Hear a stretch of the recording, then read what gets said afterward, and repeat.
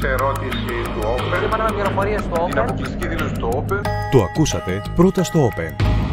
Ένα ενδεχόμενο δεύτερο lockdown στην Αττική θα μας κοστίσει μία με δύο μονάδες του ΑΕΠ. Δηλαδή, εκεί που υπολογίζαμε μια έφυση 8%, μπορεί να πάμε στο 9% ή και στο 10%. Για τη ρήψη της κόκκινης νεροπογιά φαίνεται να έχει χρησιμοποιηθεί drone. Έχουμε λοιπόν στο σημείο της σημαίας περίπου 80 στον αριθμό λαστιχένιες αμπούλες. Πρόκειται για σκασμένα μπαλόνια τα οποία περιείχαν νερό αναμεμειγμένο με κόκκινο χρώμα στη σκόνη.